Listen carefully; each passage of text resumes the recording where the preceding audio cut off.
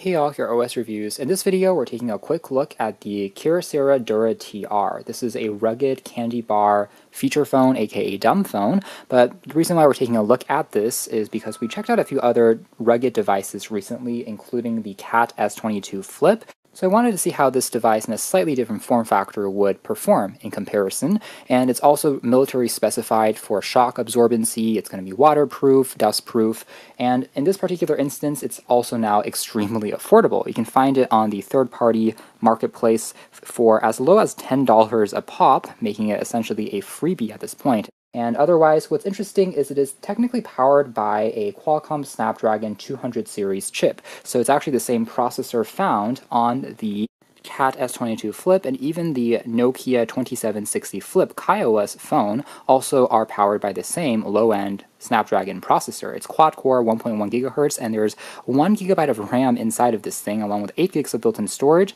expandable via a micro SD card. So surprisingly, it actually is quite capable for just a dumb phone or feature phone, and that's because it is technically running on a heavily customized version of Android that has been more locked down compared to the Cat S22, so that it seems like there's a custom skin on top. There is no Play Store support, for example, but it's still using the WebKit-based browser, so it's an Android powered phone that has been purposely stripped back to make it more of a feature phone experience.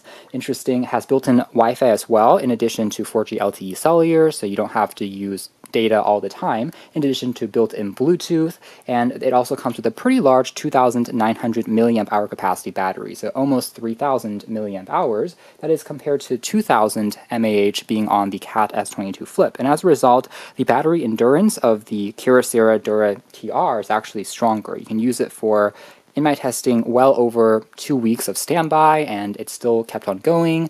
On the rear, there is a 5 megapixel autofocus camera with an LED flash.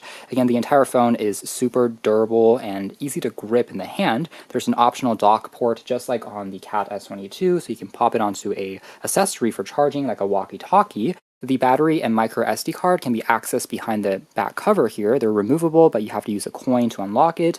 And on the side, you can also charge this thing using a micro USB cable. So that is one aspect where I think the Cat S22 is a little bit more modernized using USB Type-C instead, but it is what it is. The flap prevents any water from getting in. There's oversized buttons here for the volume as well as push-to-talk walkie-talkie. That is a remappable hotkey. They all feel extremely tactile, easy to press. And there's an additional hotkey here on the right-hand spine as well.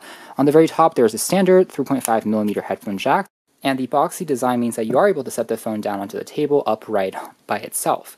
On the top here we have a 2.4 inch QVGA resolution display. So of course it is going to be a little bit smaller even compared to the 2.8 inch panel on the Cat S22 Flip but it is surprisingly functional for just getting around the UI and doing the basics. LED notification light as well as the earpiece there. Screen is protected by Corning Gorilla Glass and a traditional T9 style keypad, which is actually a little bit on the squished side for the 1 through 9 keys, as you can tell there, for the size of the phone. Perhaps that's because part of the space is taken up by the front-facing speakerphone, which gets extremely loud, but overall it's still functional, and the keys at least have a lot of travel and feedback. They are super risen above the surface, easy to press on, and are also glow in the dark, so easy to see in darker environments, along with the traditional four-way navigation toggle, as well as two hotkeys, and you'll also find a multitasking key here that brings up your recent applications, as well as a voice command key here on the front, which interestingly enough isn't using something like Google Assistant as you might expect, but rather still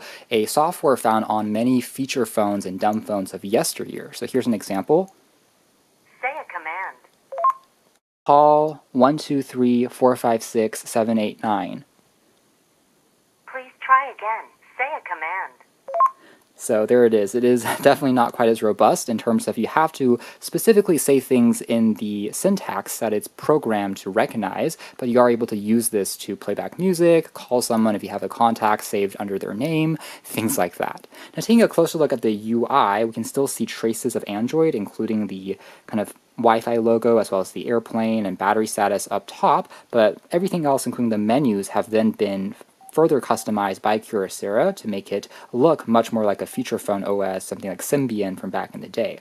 We are able to see traces again of Android, including accessibility options such as color inversion, captions, which we do also see on more modern Android devices. So good that some of those features are available here as well, in addition to the standard wireless options, again, like Wi-Fi, Bluetooth that we find, but there is no NFC for contactless mobile payment on this particular unit. Otherwise, we can take a look at basic utility functions, including a calculator and a unit converter built on in. Again, the whole UI of all of these apps seem to also be designed by Kyocera as opposed to be using the standard Google defaults here, which is interesting. There's a basic sound recorder as well. One, two, three test. Example of the sound being picked up by the recorder. Let's see what it is like. One, two, three test. So as you can hear, they're actually very clean and crisp for just audio notes, which is good for a communication-centric phone like this. There's also some ambient noise reduction if you're in a busier environment. A basic MP3 player can also be found to take advantage of the headphone jack. Again, 8 gigs of built-in storage that you can augment using a micro SD card. An alarm can also be used on here as well. Very basic functions that we uh, have come to expect even on kind of more entry-level phones these days.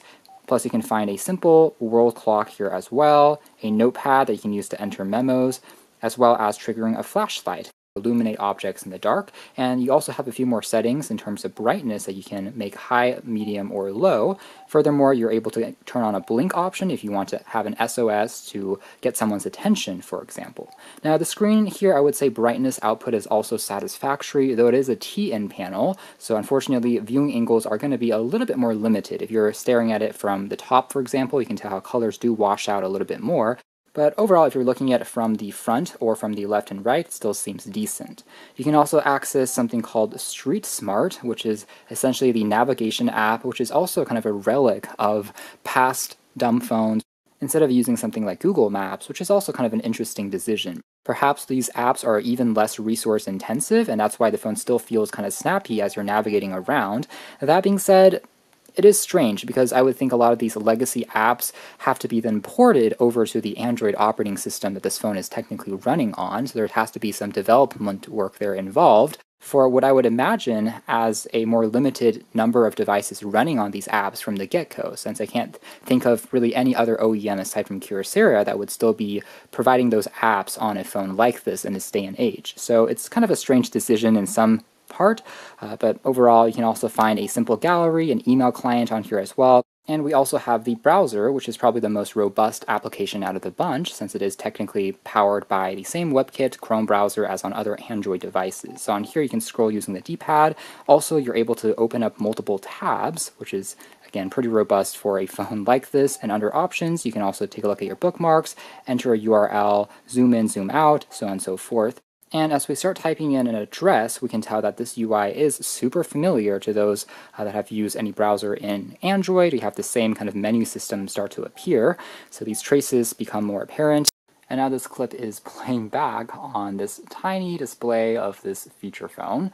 And we are able to also access additional context menus just by tapping on here and here is the footage playing back in a full screen view. That being said, again, this device doesn't seem to have an accelerometer, and the screen doesn't intelligently flip onto the side, like on some of the KaiOS flip phones that we've seen. So you still have a slightly more limited, almost postage stamped size screen there, so not the best, I would say, for maybe if you are streaming back videos on YouTube, but if you really are trying to look up the news, weather information like that, that can still function, and just occasionally a few snippets, I guess, will still work. Plus, you can use it to look back the gallery of uh, local files you store on the phone itself. Quick look at the camera next. It's very simple. UI doesn't give you a ton of different extras, but you can choose the resolution just by pressing on the 1 over here to dial into 0.1 megapixels or up to 5 megapixels. 3 here will turn flash on or off, and that is it. No other HDR or Pro controls, but kind of just gets the basics done. And for video, we're able to toggle between VGA, QVGA, and up to 720p HD resolution if you want to capture it when holding in this particular orientation by in 16 by 9, and then it just switches back into the lower res there. So taking a quick look at some of the sample images, I would say if there is adequate lighting, it still looks to be surprisingly decent enough for just, again, a $10 phone these days, and you can still use it to capture, you know, something in an emergency as long as you aren't too picky. Not a ton of processing going on to these photos. This is what the flash looks like, but at least it is functional just for preserving some quick memories. And like feature phones of yesteryear, you're able to share these by Bluetooth, email, or messaging as well. And speaking of messaging, if we tap on the kind of message field here, you are able to toggle into some additional controls, including uh, symbols as well as smileys and even emojis, as you can see down below here, up to 159 most common emojis, that is. So surprisingly, some of those options for typing and texting can still be found on here. Different website URLs as well as even smileys using characters, as you can tell there, can also be done as shortcuts using this particular mode. And Further down below, we can also look at selecting text. So if you want to copy and paste, that's also available. And by the way, this is what the auto correction with the T9 predictive text looks like. As you start typing, you'll see some suggestions pop up there that make the experience maybe a little faster. Of course, it still is going to feel more sluggish compared to QWERTY layouts, but still does a job for kind of quick messages now, of course, there is no biometric fingerprint scanner on this hardware, but you can access a password pin or lock if needed under security. And if we toggle into device, you're also able to change some of the wallpapers via some of the built-in gallery options. They all look relatively attractive, showing off kind of the vibrancy of the panel just a little bit more. However, it looks like the yellow theme of the menus there are still going to remain, regardless of what the wallpaper here on the home screen looks like. Another accessibility option include changing the font size, making it larger versus smaller. As you can tell there, can also be played around with and then also the programmable hotkey push to talk whether you want that turned on or off. For example, I've set it to trigger the flashlight by tapping on this for a few extra seconds, but you can also choose other shortcuts uh, that are available on the phone, as you can tell there. So it is remappable. And in similar fashion, so is the D-pad. If you long press for the up, down, left, and right keys on the main menu, they can also open up four of your most commonly used programs. So here is just a quick example of that, going into messaging very quickly versus going into the calendar or jumping into the camera so there we have it. That's the Kyocera Dura TR. It's a kind of mini brick of a phone, but what's really interesting is that even these quote-unquote dumb phones are technically running on a slightly more advanced operating system as well as more powerful specs inside than I think many folks would expect. Again, having a quad-core processor with 8 gigabytes of built-in storage, technically running on Android with Wi-Fi, are all nice modern touches. Out of the bunch though, I would say this version of the operating system or really skin, I would say, by Kyocera is the most obtrusive yet, but perhaps that's by intent. They've purposefully made it feel as similar as possible to a real feature or dumb phone from back in the day, including porting over many of the voice recognition features that maybe people are used to, but at the same time also restricting you from being able to do more, such as modern social media apps. So it could also fit the purpose of being a digital detox phone of sorts if you're trying to purposefully break free from certain games or social media addictions. This will get you to do that while still allowing you to make phone calls at the very least. But still is kind of a neat hardware, I would say. As long as you aren't looking for more additional app support and features, but if you are, then I'd say some of the more full version of Android devices, including the Cat S22, might be a little bit more versatile for you. Though again, this can be just purposefully even more simple, but still having all the basics, plus really long battery life to boot. So you can check out more details if interested in the links down below. Surprisingly, kind of a good value, I would say, for just, again, 10 bucks. Uh, that has been the Kyocera Dura TR rugged candy bar phone.